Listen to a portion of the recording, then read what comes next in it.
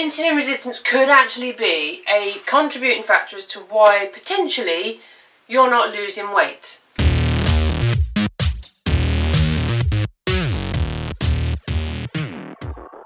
Hi everyone, it's Lesley from LM Fitness and today I want to talk to you about insulin.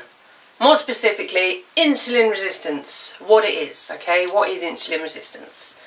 Um, now you may or may not have heard of insulin resistance if you are um, diabetic or you know someone who's diabetic, you may have heard of this. Um, and you may be thinking that insulin is only something you need to worry about if you're diabetic. But this is wrong. Insulin is actually something that's in all of us, all of the time. It's one of our um, systems that goes through the body that helps us with carrying things around and controlling blood sugars and things like that. It isn't just um, something that is in people who suffer with type 1 or type 2 diabetes. Um, but insulin resistance could actually be a contributing factor as to why potentially you're not losing weight. Okay, so I will run through and try and explain the scenario that I've got scribbled on my board. Um, and hopefully it will give you a slightly better understanding of what's going on inside your body and why you may not be losing weight as a result of this.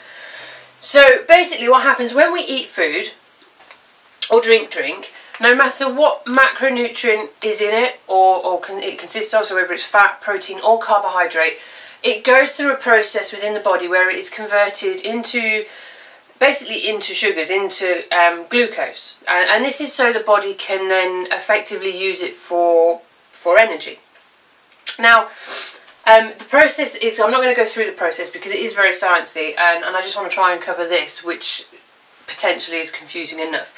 So the, the process of conversion when your food comes through your body, it's going through your digestive system, is called gluconeogenesis. Um, and like I say, I'm not. Maybe I'll do a video about that another day. But like I say, it is very sciencey. But it's what happens after this conversion that's important. So we're looking at um, when we eat, the food is converted into glucose, into sugars, effectively. And it needs to go into a cell in order for it to be converted uh, to, to be transported through the body. So whether it goes to the liver um, to be converted further into a triglyceride or whether it then goes to a muscle cell to be used as energy it all depends on how much of it is coming in. The problem is a lot of people are overeating and, and are certainly eating um, too many simple carbohydrates within their diet. So these are things like cakes, biscuits, chocolate bars, sweets, you know, the nibbly things, processed foods, things with uh, high content of hidden sugar or even obvious sugar. Um, and there's too many sugar cells with, you know, for the body to deal with. So basically what happens, for the, cell to transport um, the glucose around the body, it needs to come into a cell. And if like if we look at the, the drawings, I'm such a good artist, aren't I? So this is basically a, a cell within the body. These are both cells and you can see this one is, is rather full, this one is sort of, you know, nice and empty, there's lots of space in it. So what happens is as the body is converting all of this incoming food into glucose, it's coming down through the system and we've got these little ones coming down but they can't get into this cell because there's no space. There's no room available for them to come in there. So they're free floating at the moment in the body and there's, there's nowhere for them. They're effectively homeless. There's nowhere for them to go. So what happens is this excess amount here that can't get into this cell it comes around the body into the liver. So if your cells were like this and there was plenty of space the cells could get in and they'd all come around and go off up to a muscle cell or round to your liver, but there wouldn't be loads of it to actually convert once it's here. But because we're looking at this scenario, these excess cell, uh, sugar, glucose cells, um, molecules are coming round to the liver um, where they're going to be converted into something called a triglyceride.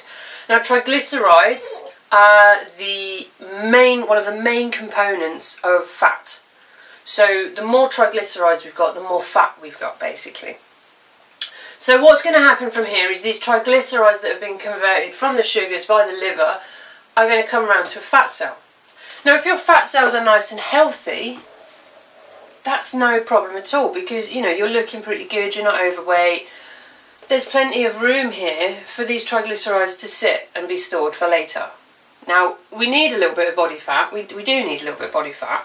So having this here is, is a good survival storage fat, so fat source, okay, for energy later or to keep us warm or to protect our organs. So we need some of this.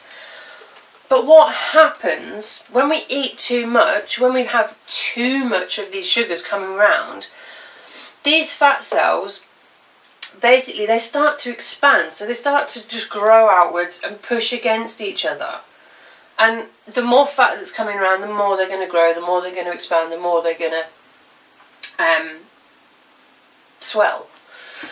But what happens here is your immune system starts to kick in. Now everyone thinks that your immune system is there to fight off illnesses, colds, snotty noses, viruses, you know, those sorts of things, the obvious things, illness.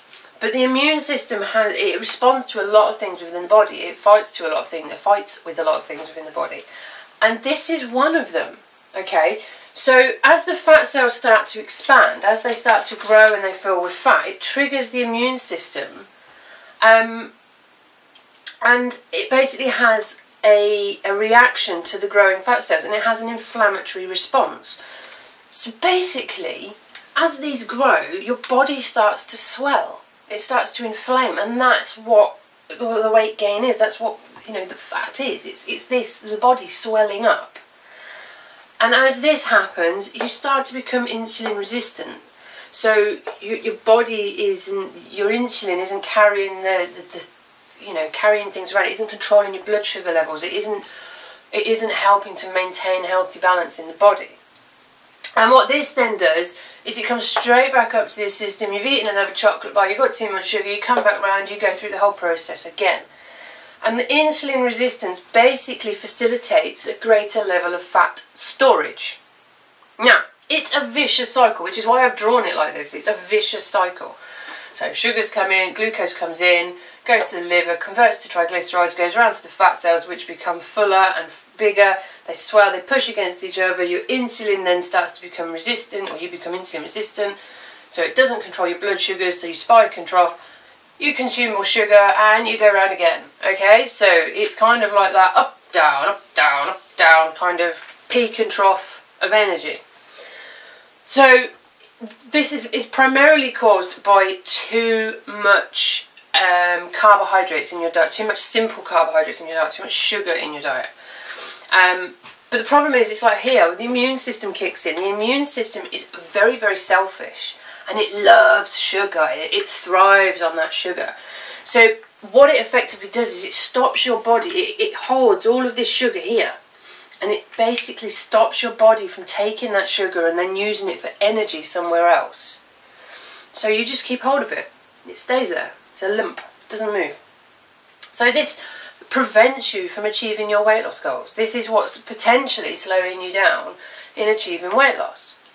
So what we can do is we, we create like a calorie deficit so we're not having as much sugar. We start to reduce the sugar. We start to have um, reduce the carbs, reduce the calories that we're taking in. And then these sugars, there's less of them, so they might have a greater chance of getting into a healthy cell and rather than going around to the liver to be converted to triglycerides and then back round, they're going off up to a, a muscle cell up here and being used for energy.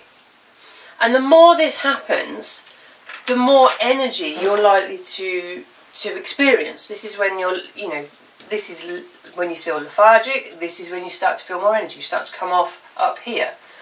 Now, as you break out of this cycle, which will be gradual, but as you break out of this cycle and you start to push sugars up into your muscle cells for energy, you become more insulin sensitive and this is a good thing. This is, this is good. This is where our body will start to um, break down these fat cells and the immune system will start to let go and come back down to normal. But I'm not saying here that you should be low carb. Now don't get the wrong impression from this video. I, that is not the answer. That is not what I am saying. What I am saying is you need to be more aware of how much you're putting in and what you're putting in and make some amendments to what you're putting in to go for um, alternative healthier options of carbohydrates. So, you know, something that's slower burning, something that's you know it's got a longer chain to it so it's gonna it's gonna be a slower releasing so you always hear people saying about porridge it's a slow releasing carb things like that you want to swap the things like your pasta your bread your white breads your, your rice and things like that um, and just go for healthier alternative options when it comes to your carbohydrates. Okay, so I really hope that's made sense. Um, but obviously if you have got any questions or you want to talk about it a bit more, drop comments down below, like the video, subscribe to the channel, come and follow me on Facebook or Twitter or Instagram or any of those lovely places. Um, and I'll hopefully speak to you all soon. But take care, consider your healthy alternatives and I will look forward to seeing you, seeing you in the next video very soon. Take care. Bye. Thanks for watching the video. Really, really appreciate you taking the time out of your day to sit and listen to me blab on about stuff. Um, if you like the video, please make sure that you hit the like button. Also, please subscribe to the channel and check out all of the other videos that I've done about weight loss, about mindset, exercise, fitness in general. And also, check out some newer videos. So you've got uh, an exercise and a recipe. So check them out whilst you're here as well. One more quick thing. Social media, come and follow me. You've got Twitter, Instagram, Facebook and the website. Make sure you come, make sure you interact and please leave a comment below if you've got any feedback. Take care and until the next video, see you soon.